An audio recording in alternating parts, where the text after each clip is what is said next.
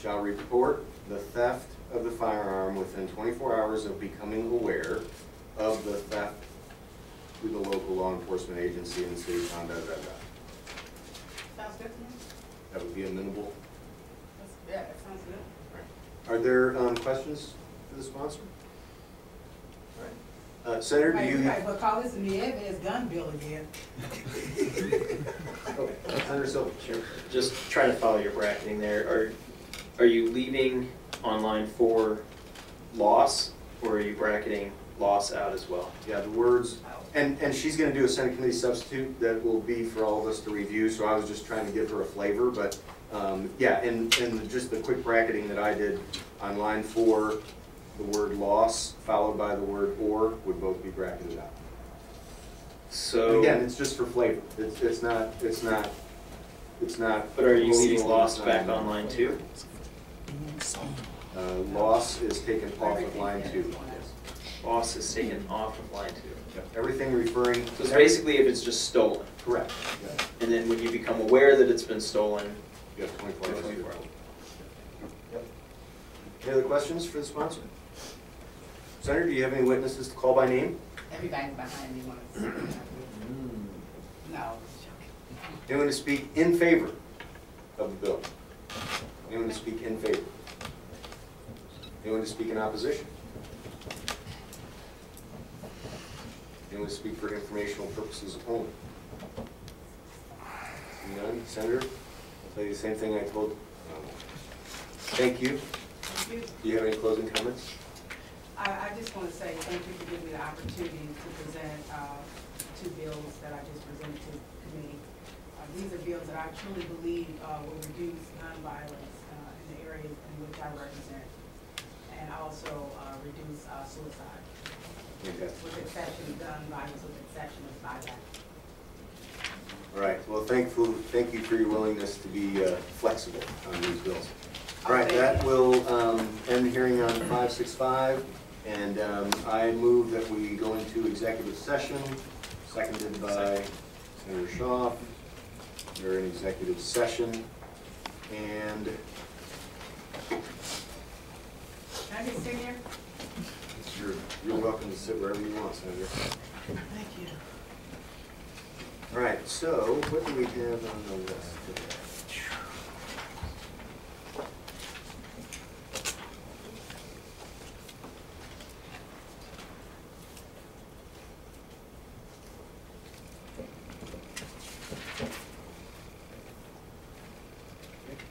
All right, well, let's start with an easy one. Um, Hopefully you remember Senator Wallingford was in front of us recently talking about Medical Radiation Day, Senate Bill 527.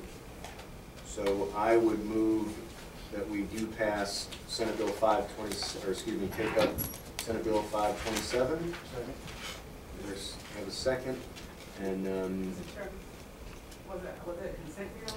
he did ask for consent status, yep. Yep. Filling out consent bill. You are. Yes, Chairman. You got nervous, didn't you? You always make me nervous, Senator. You always make me nervous. No, I, what came to mind was like, I, it made me wonder why we just had a hearing on those other two bills. If that- if that's the way we're gonna play. All right, so, uh, is there a discussion on Senate Bill five two seven? All right, I move that we do pass Senate Bill five two seven. Madam Secretary, please call the roll.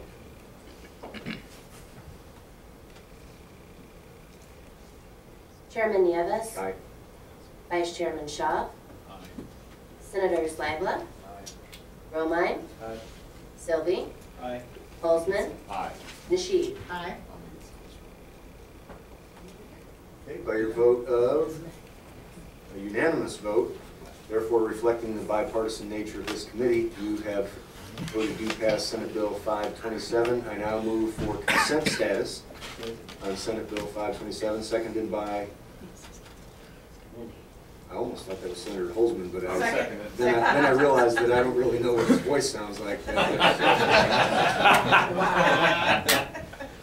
Seconded by Let's, let's, Hey, let's, vote let's, tonight. let's let Senator Holsman. I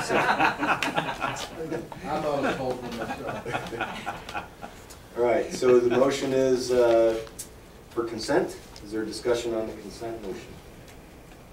All right, Madam Secretary, call the roll on the consent status. Chairman Nieves. Aye.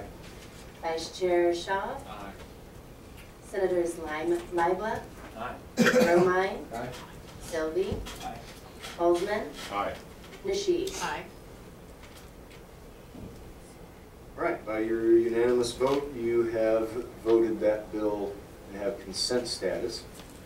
Um, Next bill that I would move we take up is Senate Bill 599. Do I have a second on that? Seconded by Senator Shaw. Senate Bill 599, we do have a committee substitute that Senator Kraus has prepared for us.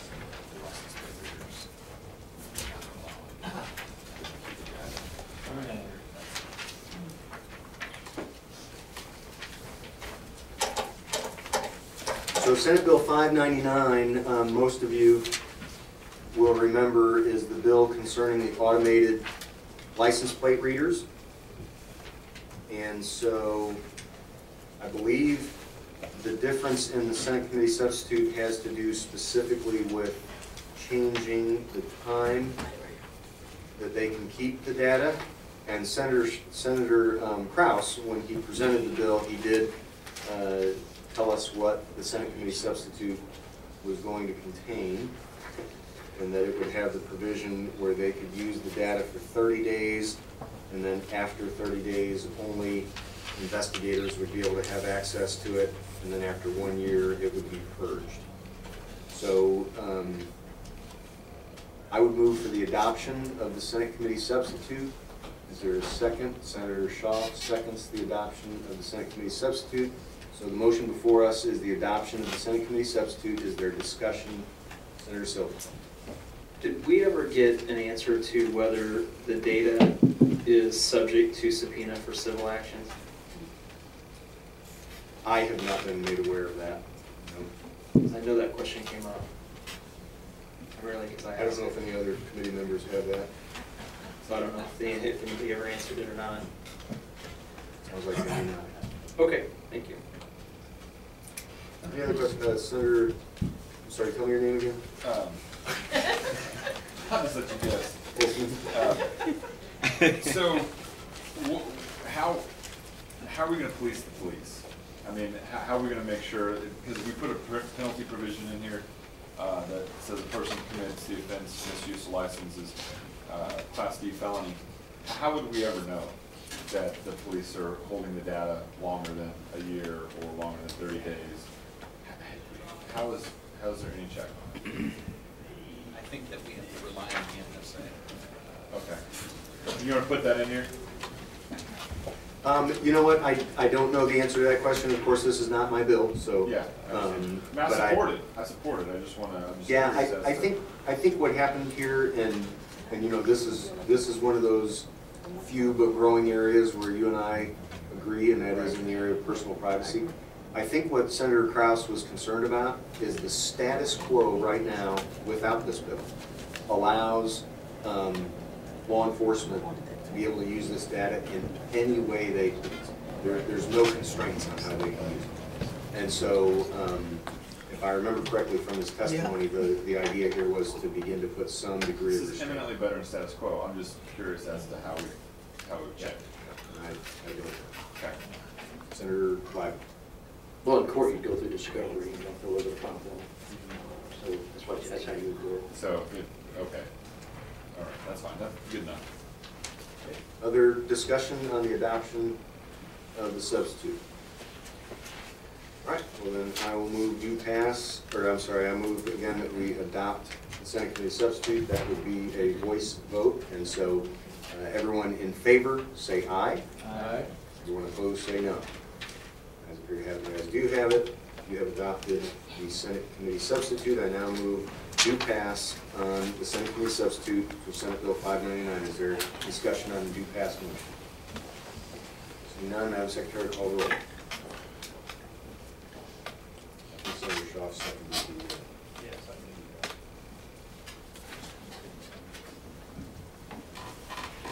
I can do Chairman Nieves. aye. Vice Chairman Shaw. that. Aye. Senators Libla, Aye. Romine, Aye. Silvey, Holsman, Aye. Nasheed. Aye. Once again, reflecting the bipartisan nature of this committee, we have a unanimous vote, and you have voted to pass the Senate Committee substitute. And the last one that we will bring up for a vote.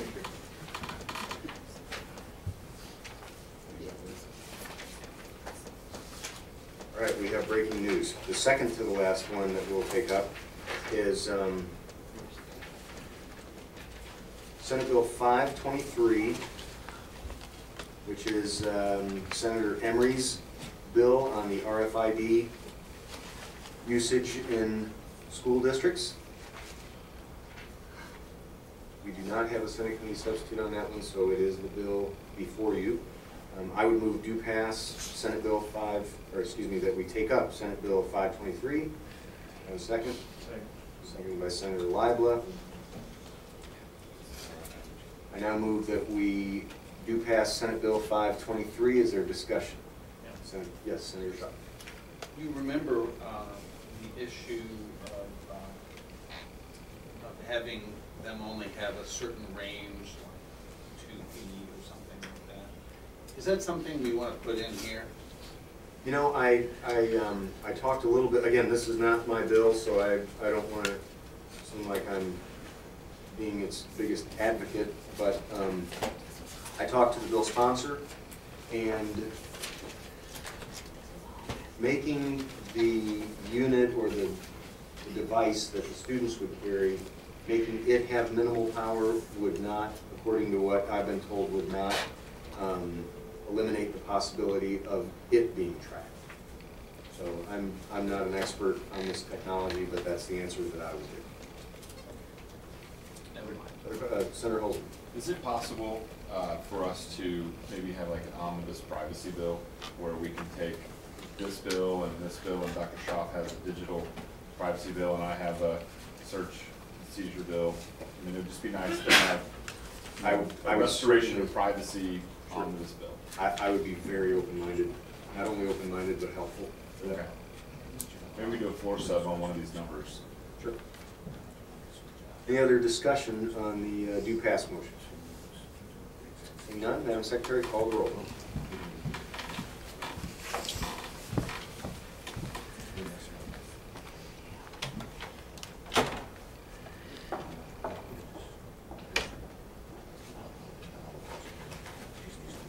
Chairman Nieves, Aye. Vice Chairman Shaw, Senators Libla, Aye. Romine, Aye. Silvey, Aye. Holsman, Aye. Nasheed. Aye. Once again, reflecting the bipartisan nature of this committee, we have a unanimous vote, and you have voted to pass Senate Bill 523. Now, this is the last one we'll take up today, and it is Senate Bill 6, 656, which the number of that one sounded almost familiar to another bill that we heard today, so it gave me pause. Um, Okay, yes, 656 as opposed to 565. All right, just so there's no confusion, we're, I'm moving that we take up Senate Bill 656, which is Senator Kraus's bill. That was second. Seconded by Senator Shaw. I now move that we do pass Senate Bill 656. Is there discussion on do pass? Senator Holt. I do apologize for missing this hearing. What was the reasoning? Because when I got my CCW, I did both, and I thought it was appropriate to demonstrate handling of both, both pieces. Why we get of one? Yeah, I, there would be a possibility that you may have done yours um, after, initially, the law said that you had to fire a certain number with each rounds type. each one, yeah. Okay. Later, perhaps after you got yours, because I know you were one of the first people that wanted to get out there and get one. um, They changed it to make the requirement many more rounds. Okay, so what's happening now is if you have people, particularly, and I've, and even though I'm not the sponsor of this bill, I, I have heard the same complaint as Senator Kraus was talking about, and that is particularly uh, elderly people, um, really have been saying that they have, a they have a, a hard time getting through that many rounds, that they can demonstrate marksmanship without having to shoot that many rounds. And so basically, this bill uh, reduces the number of rounds that they would have to shoot. It reduces the number of rounds or reduces this, the type of, of handgun that they have to shoot? Because I would be okay with reducing the number of rounds that each, each one had to fire, but I think firing both, both semi-auto and, and revolver is probably still a pretty good idea. Yeah, well, let's just take a look at it, just be- because I think it does not, I don't think it lifts the requirement. Yeah, revolver and semi-auto.